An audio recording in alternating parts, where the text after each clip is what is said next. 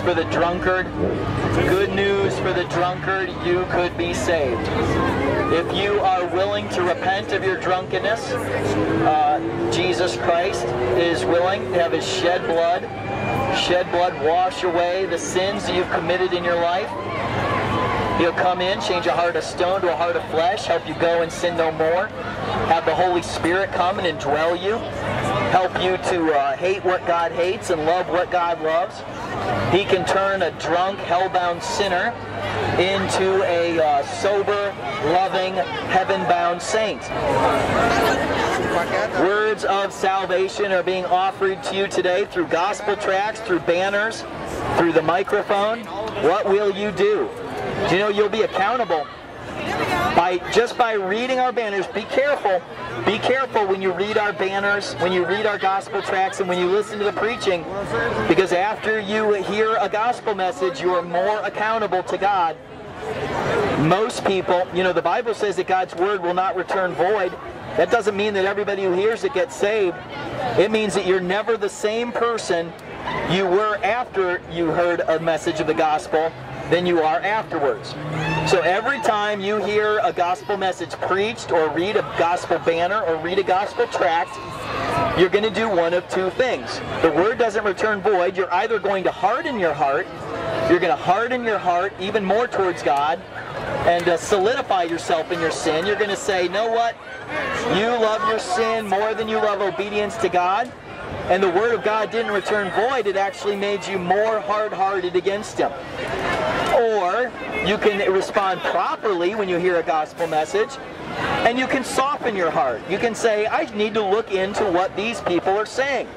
I need to go home and read my Bible and see if these people are liars or if they're telling the truth. Because if you're out here getting drunk tonight uh, and somebody tells you that a drunkard cannot inherit the kingdom of God, it certainly would be worth your time to go see if that is a lie or if that is the truth. If it's a lie, question. They will inherit the kingdom of God because we're all saved by grace. Uh, you're not saved by grace. You're not saved by anything right now out at a pub crawl. The Bible says that the grace of God that brings salvation has appeared to all men, teaching us that denying ungodliness and worldly lust, we are to live soberly, righteously, and godly in this present age. That's what grace teaches you. Grace teaches you how to live soberly, godly, and righteously right now. If you think you're just going to keep sinning and sinning and sinning as a Christian until you die and then you then you're going to be welcomed into heaven, one, you make death a more powerful savior than Jesus. Two, you're not going to inherit the kingdom of God. You're actually someone who believes that they're a Christian, who keeps on in their sinning, is actually going to have a worse fate in hell than the drunk atheist who never received Christ to begin with. That's what Peter said in 2 Peter 2.20. Peter says that, you know, those who uh, hear the message and were, were cleansed, were cleansed through the message that God gave them, but then return back into their same sin, their fate will be worse off than before. What are we doing with the footage? Uh, I want to show the world how stupid drunks are. I want to show the world how stupid it is to be a sinner.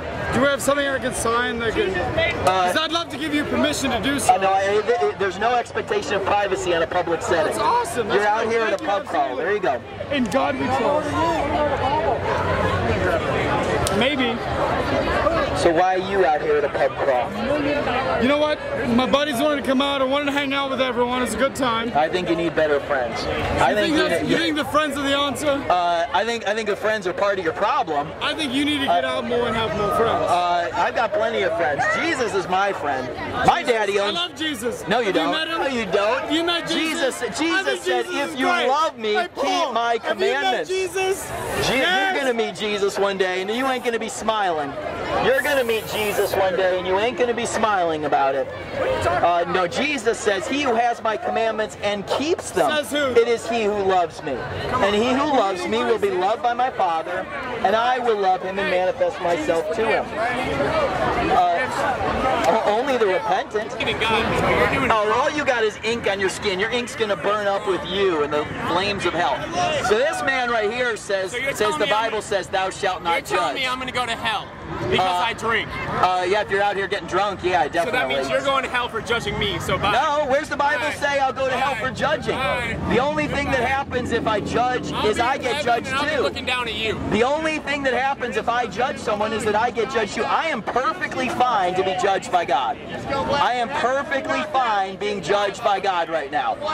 Actually, Jesus said uh, to remove the beam from your own eye so you can see clearly to take the speck out of your brother's eye. I removed the beam from my own eye so I can take the speck out of yours. Now, if I was out here getting drunk, telling drunkards they're on their way to hell, then that would be hypocritical judgment. I'd be under the same judgment. So I'm on my way to hell because I'm getting drunk. Yeah. Oh, yeah. You're the most ignorant fucking person. Oh. Now you got your your beer stained spit right in my face here.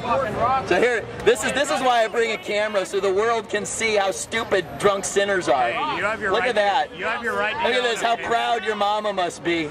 She's How proud your mama must be. She's so Wow, proud. raised a drunk. Raised up a drunk. Yes, you have a question. You You can have, have you knows I'm have going right to your own somewhere in opinion, life. and I support that. I'm Thank not gonna be on a corner preaching about bullshit. Yeah, you're not worthy to preach. You're not worthy to preach Hey, about Mama, anything. I'm not Now, worthy to preach said- about bullshit. Jesus said, when you judge, judge with the right. I'm not worthy to judgment. preach about That's right. Put it, bullshit. up, put it on Facebook Live and uh, send it to all the biggest sinner you know. Use your cell phone. Call up the biggest sinner you know. The biggest sinner I Call up the biggest sinner you know and let them listen to the preaching. Unless these guys are your, the biggest sinner you know. So who is ready? Which one of you foul-mouthed, violent drunks is willing to repent? You want to see a bitch man? Which one of you foul-mouthed drunks? Uh, yes. Am I being too subtle for you? Do you think I don't believe in Jesus? Well, I mean, Jesus said, "Except you're not of thy neighbor." So. Said what? He said, "Fucking love your neighbor." Like, Hey, Jesus used the F word? I don't remember that. Which version of the Bible are you reading from? all right. So Jesus said, "Love your neighbor." Yeah, I'm loving you. This is it's very loving to tell a bunch of drunks that drunkards go to hell. The Bible, the Bible says that drunkards will not inherit the kingdom of God. Look, I even cited it. I even cited it right here, 1 Corinthians 6, 9 and 10. That's not. The Bible says, walk as children of the light, finding out what is acceptable to the Lord. All right, you walk around with a bottle of water, and if Jesus wants you to have wine, he'll turn it into it. No, the Bible says, let us walk properly as in the day, not in revelry and drunkenness, not in lewdness and lust, not in strife and envy, but put on the Lord Jesus Christ and make no provision for the flesh to fulfill its lusts. You people are all friends of the world. The Bible says that friendship with the world is enmity towards God. The Bible says, do not be a friend of the world or all the things of the world. Do not be, uh, you know, the pride of life, the uh, the pride of life, the pride of the flesh, uh, the lust of the eyes, lust of the flesh, the pride of life. These things don't come from God; they come from the devil. And this world and all of its passions, it's passing away. But he who does the will of the Father, that's the one that's going to endure forever. Here you guys are, out here staggering around drunk, being friends of the world, when the Bible says that friendship with the world is enmity towards God. So let's give you, uh, let's, I've cited the Bible verse here for you, 1 Corinthians 6, 9, and 10, that tells you that a drunkard cannot inherit the kingdom of God. It also says that a fornicator cannot inherit a kingdom of God or a homosexual. Are you on that list? See, tonight, tonight the sin of choice is mostly drunkenness. Yes. standing up for what you believe in. I appreciate it. We, we want you to get saved. We could use a guy like you out here. You know, we get all these, all these big, strong, burly guys, big, strong, burly guys out here. Waste, a waste of manhood. These big, strong guys that are out here getting drunk and sinning. What a waste of manhood. You manhood. know that's illegal to film people with Give me the law. Cite the law. I love it. I love it. Yeah, you really look like somebody who doesn't want to be seen. Walking around, walking around in your Rich and Bennett t-shirt and your green socks. Suddenly you're shy. You've probably taken about 1,400 selfies today, but suddenly you're shy. Yeah, why don't you start loving him and quit being a drunken fool? Why don't you start loving God and quit being such a drunken fool? I love God. Are you out here getting drunk tonight? I think you need to find a better church. I think you need to find a better church. You're very is that is that alcoholic right there? Is that alcohol? You want to taste it? Is that alcohol? You want to taste it? Or is it is it apple juice plus something else, or is it just apple juice? I, I, I think you're being I think she's being I think she's being a bit vague in what else is in that glass. You're gonna go to hell. No, Jesus said, He who has my commandments and keeps them, it is he who loves me. And he who loves me will be loved by my Father, and I will love him and manifest myself to him. If you want to be loved by God and have him manifest himself to you, then uh, you need to uh, you need to love him first. Right. Am I wrong? Am I wrong for judging people? Yes. That's a judgment. Now you're judgmental and a hypocrite. You said I'm wrong for judging people. That's a judgment. I don't. Now you're judgmental and a hypocrite. I'm just judgmental, and I don't say it's wrong. Neither the Bible doesn't say it's wrong to judge people. You know, there's a book of the Bible called Judges. Uh, there's a day called Judgment Day. No, God is very pro-judgment. God is very pro-judgment. Now, if some guy if some guy walked up to one of you girls and said, hey, you're beautiful, can I buy you a drink? You wouldn't say, who are you to judge? You can't judge me as beautiful. No. But telling someone telling you you're beautiful is just as much a judgment as someone tell you telling a drunkard that they're on their way to hell.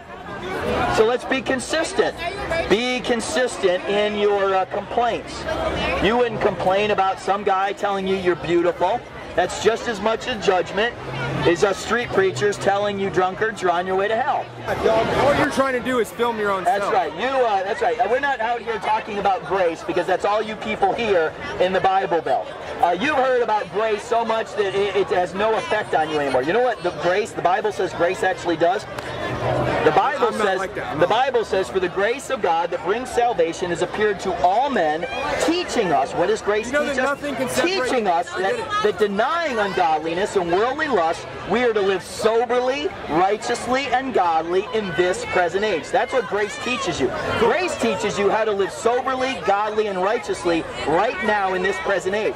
But you know what the modern American church pe- teaches people is just say your little sinner's prayer in. Bible camp, you. I feel and then you. can go sin as much as you want, I feel and then. God's under this legal obligation to let you into heaven. I feel you. I feel you. We're on the All right, page. you can't sin and get into God's God's kingdom.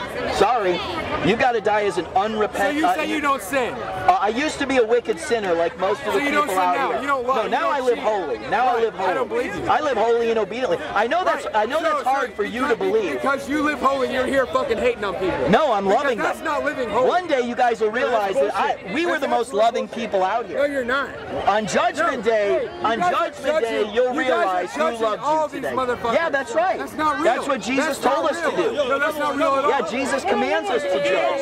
That's not. Jesus said, when you judge, judge with righteous judgment. When you judge, judge with righteous judgment. That's what Jesus told his disciples in John 7 24. Yeah, your little party's going to end in a lake of fire. Your little party is going to end in a lake in a lake of fire, and it won't seem so funny. Put this on Facebook Live and and uh, set, tell all your the biggest sinning friends you have to watch. Why don't you use your cell phone? Call up the biggest sinner you know and tell them to listen to the preaching. Call the biggest sinner you know and tell them to listen to the preaching.